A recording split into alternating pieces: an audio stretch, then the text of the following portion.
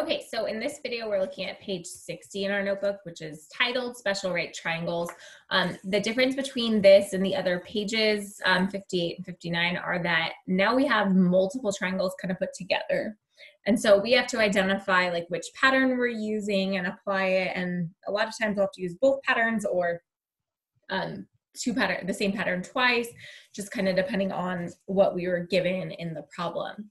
Um, so what we can see from this first problem is that I have a 45, 45, 90 right triangle and I have a 30, 60, 90 right triangle.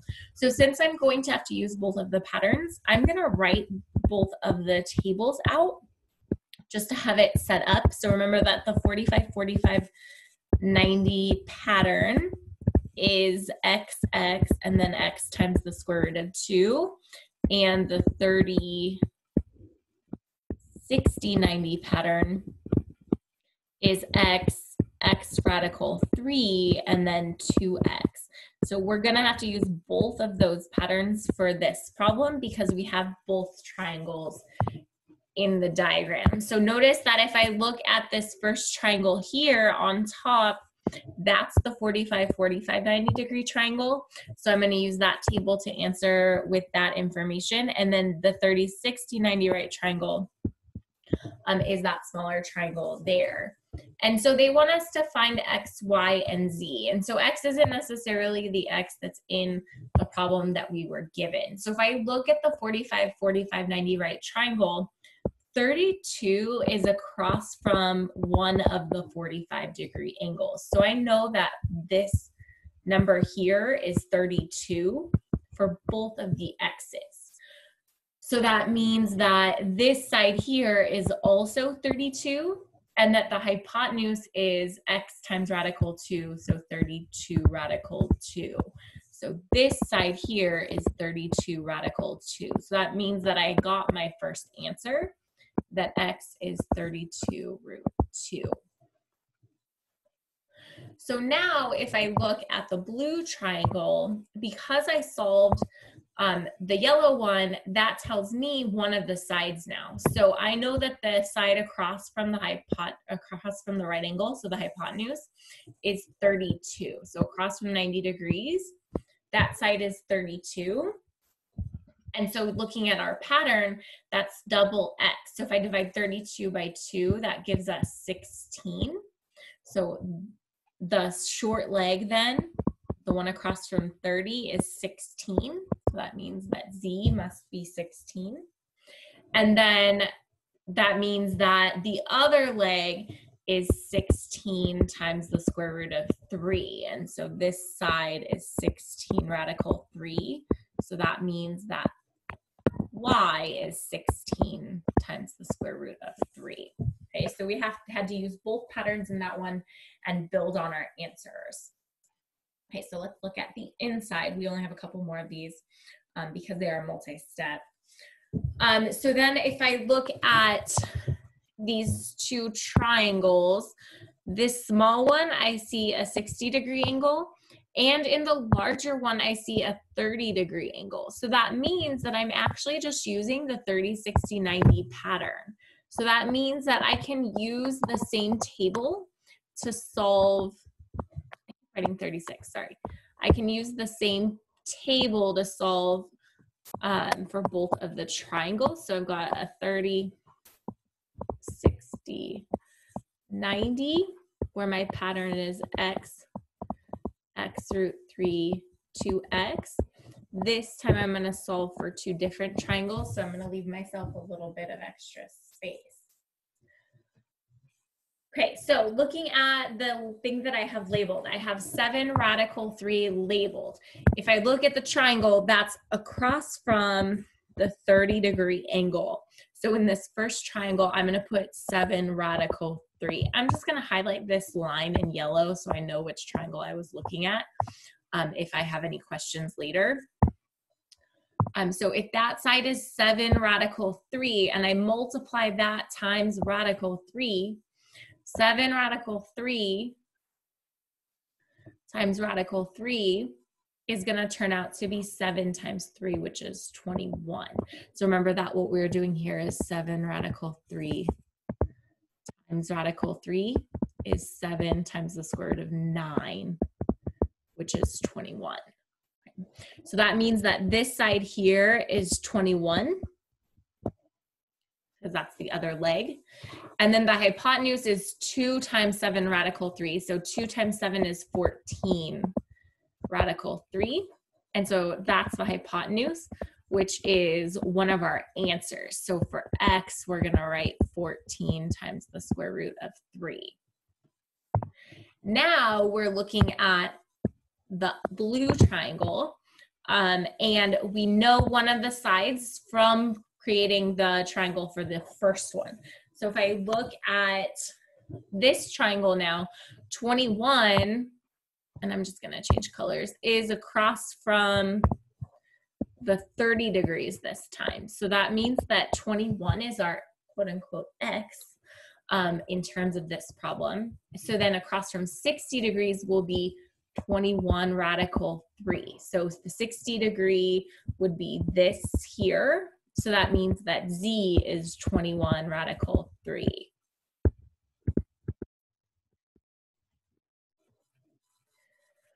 And then finally, the one across from 90 is double of 21. So that would give us 42. So the hypotenuse of this triangle, which is labeled as Y, is 42.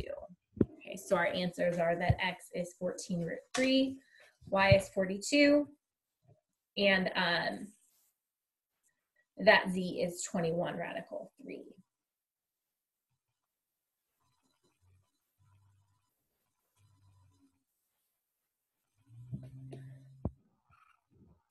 Okay, so then in the next one, if we look at this, we have both types of triangles. The top triangle here is a 30, 60, 90. So we're gonna have to do a 30, 60, 90 table to solve that one. So 30, 60, 90 is gonna give us X, X, X. I was doing a 45, 45, 90. X, X root three, and then two X. All right. And then for the other triangle, we have a 45 degree and a 90 degree angle. So we're gonna have to draw a new table because that's gonna use the other pattern. So that means that we're gonna have a 45, 45, 90, which has the pattern x, x, root two that I was trying to write for the last one. Okay, so let's look at which one we know information about to start. So if I look at the side number that I have, I have a nine. Nine is across from 30. So that means that this side here is nine. This is a nice one because then I have X. So I can find the other ones easily. I don't have to kind of remember any patterns. So nine is X. So this is nine root three is the long leg, which would be across from the 60 that's not there. So nine root three is gonna go there. And then the hypotenuse is double nine, which is 18. So our hypotenuse is over here. So that's 18 which means that we know the answer for Z. So Z must be 18. Then we want to look at the other triangle. So because we found the side was 9 root 3, notice that that's the hypotenuse of this triangle. So 9 times radical 3 is what this value is for um, the triangle hypotenuse. So what's complicated with this one is that I don't have a radical two um, or an even radical in order to simplify. So what I'm gonna have to do is kind of think about this as though it was an equation and use that to solve.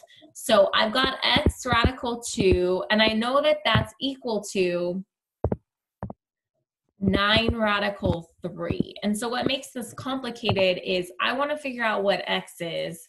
So technically I'm dividing by radical 2. And so we did that by like cutting the number in half um, when it was nice. So in this case, that's going to give us 9 radical 3 over radical 2. So what complicates this is that I'm not allowed to have that radical 2 in the denominator. So this isn't my answer. I have to rationalize, remember, multiply by the radical over itself. So that's going to actually give me 9 radical 6 over radical 2 times radical 2 is just 2. So that means that x is 9 radical 6 over 2. So that's a lot more complicated than anything that we had seen before. Notice that that's the answer for both x and y. Um, so both of these are 9 radical 6 over 2, 9 radical 6 over 2. So when I can't see the pattern, I want to take the two pieces in the table right, this and create an equation out of it to solve. So that's why I divided by radical 2 to get x by itself because I'm trying to solve for the x in the pattern. Okay, so we will see, or we might see another one that's complicated like this um, in the next one. I don't remember. Um, so if I look at this last problem, we have both types of triangles again. So notice this one has a 60 degree so we're going to have to write out our pattern for the 30, 60, 90 right triangle, which is going to be x, x root 3, 2x. And we've got a 45, 45, 90 triangle here. So we're going to have to write out that pattern as well. So 45, 45, 90, which is x, x, and x radical 2. So for our last problem on this page, if we look at where we know information, we know this side here, which is across from the 90 degree in the 45. So we know that this is 15 radical 2 for our hypotenuse of the 45, 45, 90, which means that x is 15 and 15. So that means that both of these sides are 15. So the first answer that we get is the answer for Z. So next we're looking at the other triangle. So that 15 leg that's shared with these two triangles, that's across from 60 here. So that means that this is 15. And then we um, are going backwards. So remember that with this one, what we did was um, we had to technically divide by the radical 3. And so what this ends up being is 15 divided by 3 is 3. Sorry, 15 divided by 3 is 5. So this ends up being 5 radical 3. Um, again, another way that we could do that is the same way that we did in that last one. I'll show that work too if you like forget the pattern because this is one of the harder ones. If I take that and write an equation, so if I have x radical 3 equals 15. To get x by itself, I would have to divide both sides by radical 3. So that gives me that x equals 15 over the square root of 3. But remember that because we can't divide by a square root, we had to rationalize. Which ends up that we had 15 radical 3 over, the point of this was that that becomes just 3, right? Because that's the square root of 9. So notice that 15 divided by 3, I can reduce that by 3 and I get 5 radical 3. So that's the long way. The easy way or the short way is remembering that if that number, 15, is divisible by the number in the radical, I divide by that and then I split it.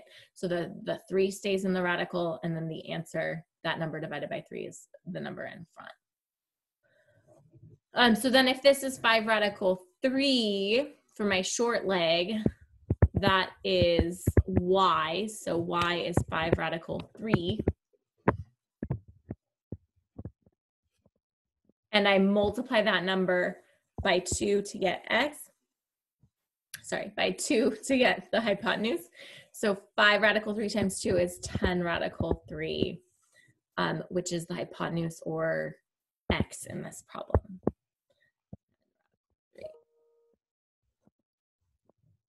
Um, so that's with when I have multiple right special right triangles, they'll give me one side and I can find all the rest of the sides of the triangle. So you're keeping organized with your tables um, and using those patterns that hopefully we've memorized um, to um, help us solve the problems.